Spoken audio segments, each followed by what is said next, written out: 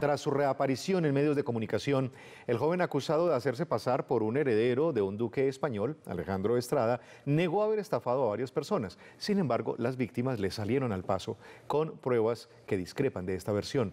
Los perjudicados piden que la Fiscalía reabra el caso.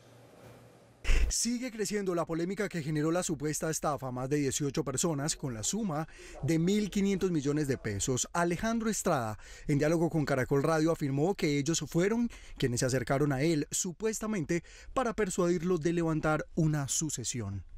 Me dejé cegar por la ambición, por poder tener más de lo que ya tenía, por, eh, no sé, por ser multimillonario como ellos me lo planteaban.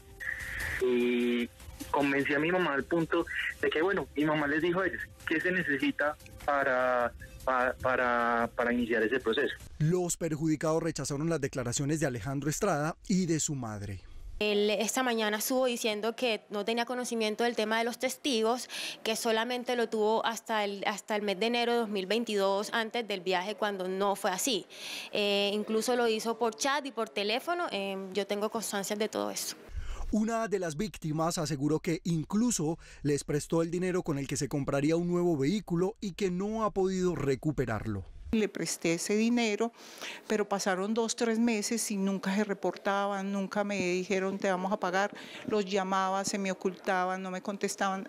Ahí fue como se comenzó a sospechar de que todo era una farsa.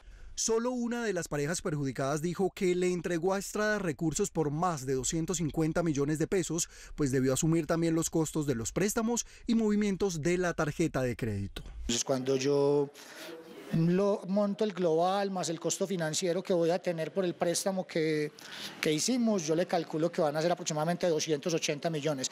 Teleantioquia Noticias tuvo acceso al historial de los chats que se intercambiaron en su momento con Alejandro Estrada. Nos estamos preparando todos porque sé que va a salir con más mentiras, pero tenemos todas las pruebas.